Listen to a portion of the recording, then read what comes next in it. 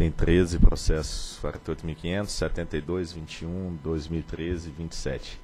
Recurso administrativo interposto pela Companhia Energética de Pernambuco em face do auto de infração número 2 de 2012 da ARP, que aplicou penalidade de multa em decorrência de fiscalização dos procedimentos referentes aos indicadores de continuidade individuais no ano de 2011. Diretor relator, doutor José Jurosa.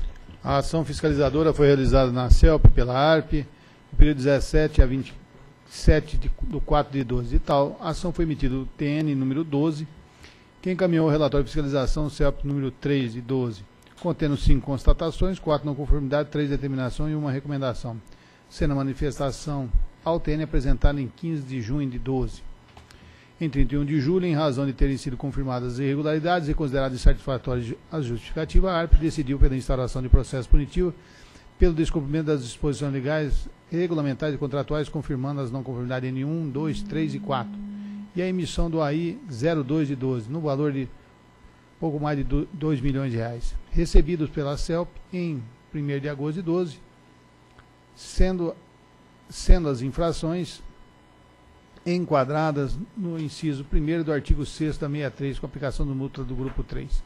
Em 13 de agosto de 12, a CELP interpôs recurso solicitando a consideração, reconsideração das não conformidades, a revisão do enquadramento das infrações e a revisão da dosimetria das penalidades de multa. Em análise de reconsideração, a diretoria da ARP manteve a penalidade de multa, sendo a sua decisão informada à CELP.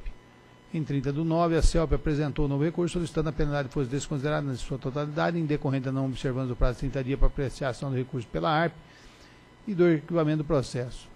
Em caso de manutenção do auto de infração, sejam revistos os enquadramentos e dosimetria realizada a alteração na variação da taxa Selic. E no caso do recurso não ser acatado, seu encaminhamento à ANEL. A diretoria da ARP manteve na íntegra o auto de infração, informando a decisão à CELP e remetendo o processo para apreciação na ANEL. Em 21 de março de 14, a SFE informou que não existe correções a serem realizadas.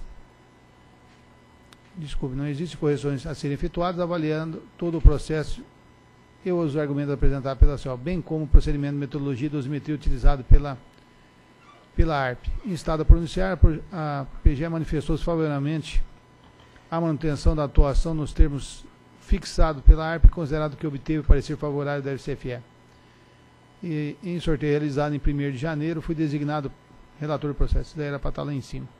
Em 3 de julho de 14, recebi em reunião o representante da distribuidora. É o relatório. Procuradoria. Trata-se de recurso da CELP em face da autifração 2 2012 da ARP.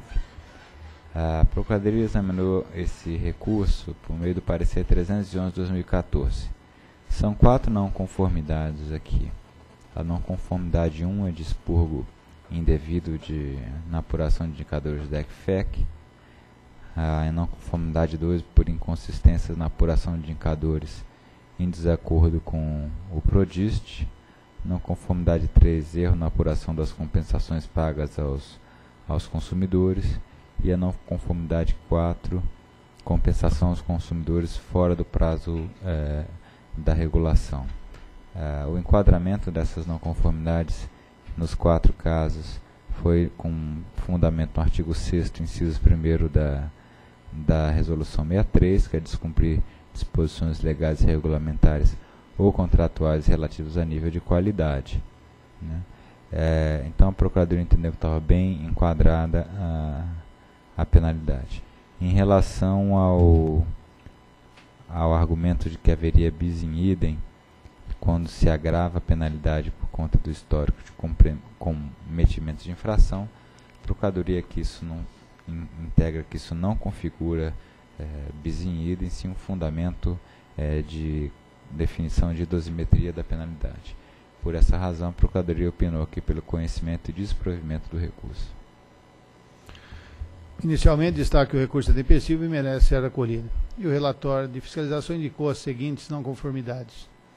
A N1 é expurgar indevidamente interrupções de descobrimento estabelecido no módulo 8 do PRODIS, a, número, a N2 não apurar indicadores de quantidade de DEC-FEC de acordo com o módulo 8 do PRODIS, a N3 não considerar indicador que apresentar maior valor de compensação quando ocorrer violação de mais de um indicador.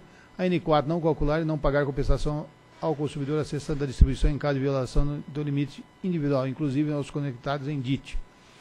E três, determinação. A primeira, é refazer os cálculos dos indicadores de continuidade coletiva, acrescentando as ocorrências expurgadas indevidamente. A dois, refazer os cálculos dos indicadores de continuidade coletiva verificado no período de janeiro de 11 a dezembro de 11. E no 3, rever os casos de valor de compensação de FII, que foi maior do que do DIC, e efetuar as compensações. A N1 foi decorrente do, então, desse expurgo, né? Em seu recurso, a CELP alegou que tais ocorrências caracterizam um caso fortuito de força maior, pois não decorreram de, de chuvas com frequência histórica, mas de grandes precipitações, apresentando informações sobre decreto e de indicadores pluviométricos. A ARP considerou que as informações de forte volume de chuvas por si só não justificam o expurgo realizado. E nesse caso, o Prodício estabeleceu a possibilidade de expurgo das ocorrências condicionadas, que elas deverão estar descritas em detalhe com identificação local, as áreas atingidas, fornecendo avaliação pormenorizada em possibilidade de atendimento, incluindo estimativa e duração de possibilidade de cumpri-las. E a PGE destacou que apenas eventos excepcionais podem ser expurgados a título de situação de emergência que cumpre a distribuidora comprovar documentalmente a efetiva situação de excepcionalidade. Em relação à alegação, a CELP, quanto ao enquadramento equivocada N1 pela ARP, manifesta a PGE que o enquadramento decorreu de apuração incorreta do indicador e não pelo distribuidor não ter enviado as informações. E as informações apresentadas pela CELP foram analisadas pela ARP, SFE, IPGE e minha assessoria, que concluíram que os procedimentos não atenderam ao estabelecido pelo Prodício, com a qual concordo, mantendo a N1 e a, e a determinação D1, cujo cumprimento deverá ser verificado no prazo estabelecido. Quanto a N2, referiu-se à não apuração dos indicadores de continuidade DEC-FEC, a CELP alegou que a SFE adotou tolerância de 5% para efeito de divergência entre valores apurados estabelecido para a DEC FEC, apresentando como exemplo o relatório de fiscalização com a número 2 da SFE que constam. Aí ele diz que a metodologia, né, ela apresenta a identificação de, de diferença superior a 5% em relação aos indicadores informados. E a constatação C12, lá no caso daquela lei, vale ressaltar que somente estão sendo considerados os conjuntos que apresentar diferenças superiores ou seja, diferenças menores que 5% nem é considerado pela, pela fiscalização. Isso está é, é, dentro de um, de um processo é, normativo da fiscalização. Adicionalmente, apresentou planilha comparando as divergências de 20 valores de DEC e FEC na amostra selecionada pela fiscalização, observando que existem divergências maiores que 5% para apenas um valor de DEC. Assim, solicitou reconsideração alegando a necessidade de uniformização de procedimentos adotados pela ANEL e ARP, e argumentando que as divergências ocorreram devido ao problema pontual decorrente da implantação da nova definição dos conjuntos.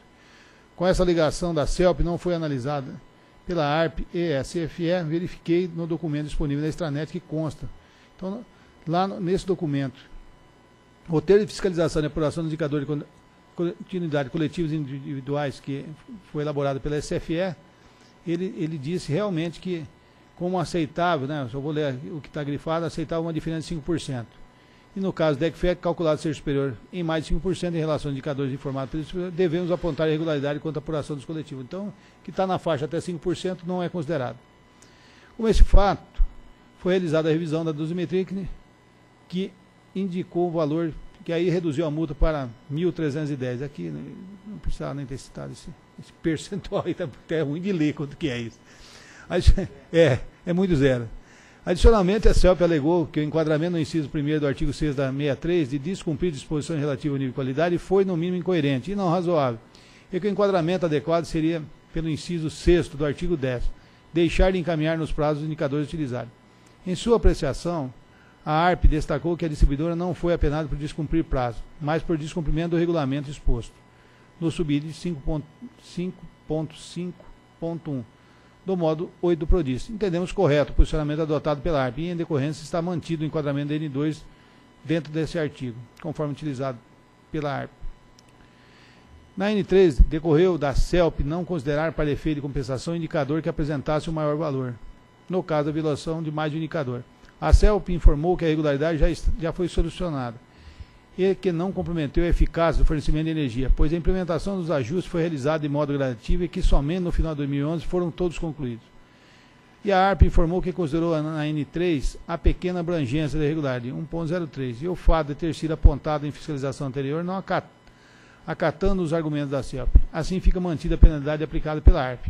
A N4, foi decorrente que a distribuidora não calculou e não pagou no prazo estabelecido em compensação ao consumidor acessando distribuição, no caso de violação, inclusive conectada à DIT, que é o caso.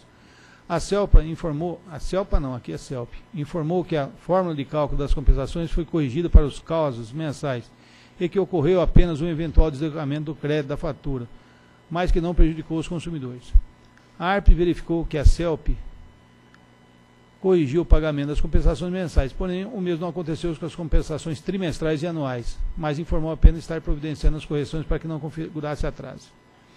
E em pesquisa realizada no sistema Indicol, de gerenciamento pela ANEL de indicadores de qualidade, verificou que as suas informações referem-se a todas as compensações pagas, e não apenas aos consumidores acessantes, que foi objeto da N4. Mesmo assim, em relação ao valor de 2 milhões pouco mais de 2 milhões que foi pago pela CELP, em compensação para todas as variações trimestrais e anuais, o valor da multa aplicada mostra desproporcional e não razoável. É uma multa de 1 milhão e 400.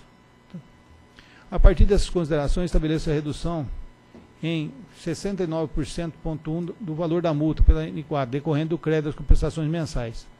E as não conformidades apuradas acarretaram em três determinações constando de obrigação de refazer os cálculos e efetuar as compensações devidas, cujo cumprimento deverão ser verificados nos prazos estabelecidos. Então, na verdade, o que aconteceu? É, é, a dosimetria, que, que, na verdade eu entendi que ela não estava muito adequada. Ah, todas, as, todas as não conformidades de fato foram caracterizadas. Né?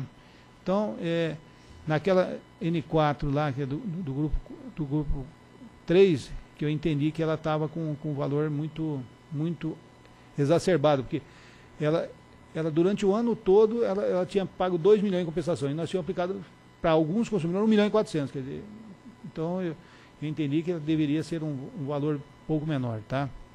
Então, do exposto com base nos documentos constantes do processo, em tela, voto por, primeiro, conhecer do provimento parcial o recurso administrativo interposto pela CELP, em face OAI número 02-2012, e, por conseguinte, reduzir a penalidade de multa para o valor de R$ 1.098.375,06 valores devem estar recolhidos em conformidade com a legislação vivendo. E ainda né, determinar o cumprimento das determinações D1, D2, D3, D... Não, não tem D4 aqui, não, D3 só. E voto ainda por determinar a ARP o acompanhamento do cumprimento das determinações D1, D2 e D3, nos prazos estabelecidos conforme preconizado aí 02 de 2012. É o voto. Em discussão. Em votação. Voto com o relator. Também voto com o relator. Proclamo que a diretoria decidiu por conhecer e dar provimento parcial ao recurso administrativo interposto pela CELP, face do AI 002-2012, CEARP, por conseguinte, reduzir a penalidade de multa para o valor de R$ 1.098.375 e determinar o cumprimento das determinações. Aqui só D1, 2 e 3. D1, D2 e D3 nos prazos estabelecidos. Decidimos ainda por determinar a ARP o acompanhamento do cumprimento das determinações D1, D2 e D3 nos prazos estabelecidos conforme preconizado no AI 2 2012 da ARP. Próximo item.